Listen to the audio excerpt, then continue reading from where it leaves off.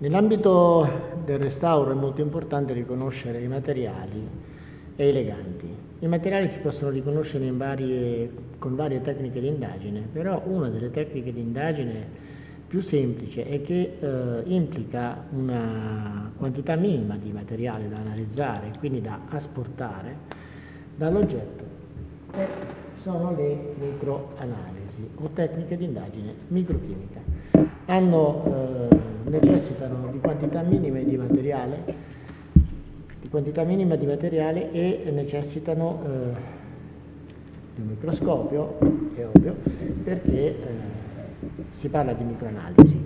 Allora la prima operazione che si fa, si guarda al microscopio, quello che noi dobbiamo, stiamo per analizzare e eh, si, possono, si fanno delle ipotesi.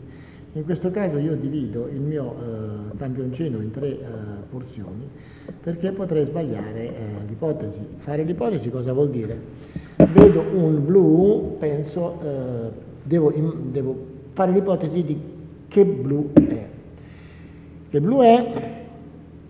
I blu usati fin dall'antichità sono l'azzurrite, il lapislazzuli, il blu egiziano e poi lo smaltino. Dalla mm, granulometria posso fare una prima ipotesi. Ipotizzo la presenza di eh, blu di Prussia. Se è blu di Prussia con la soda deve diventare marrone. Bene, io applico una micro goccia e, e vedo però che non succede letteralmente niente. Ho evidentemente sbagliato a fare l'ipotesi.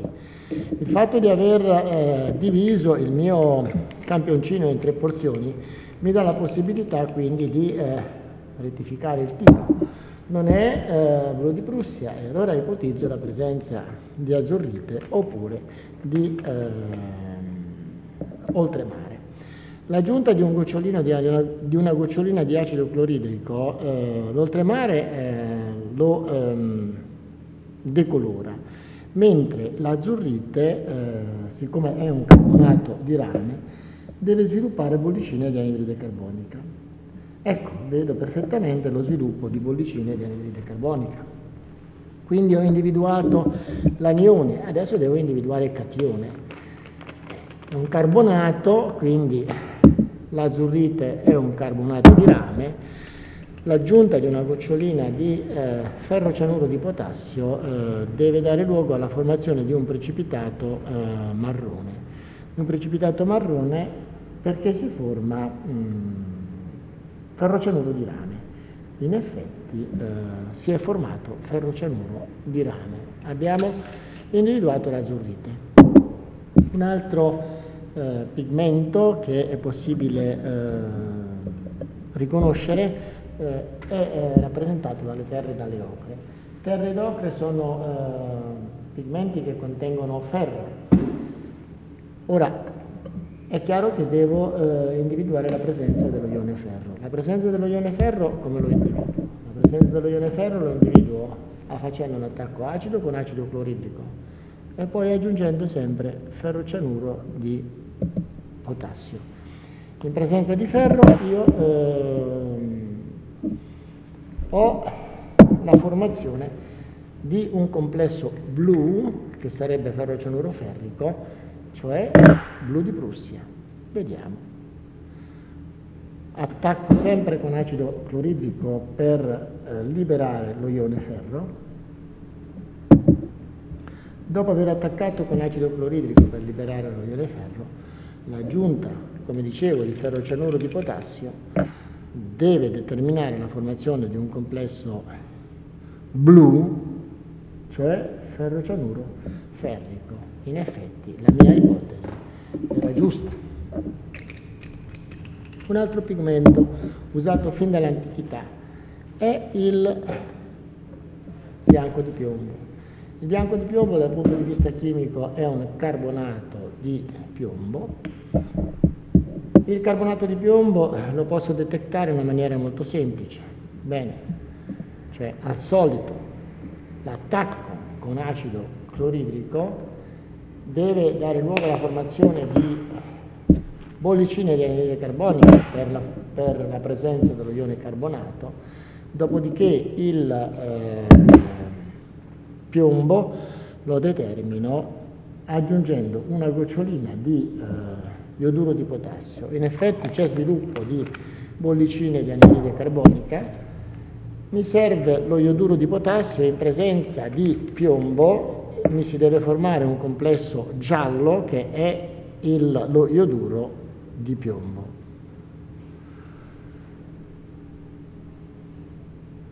Ecco di fatti svilupparsi il complesso giallo, ioduro di piombo. Però esiste anche un altro bianco, che è il bianco San Giovanni.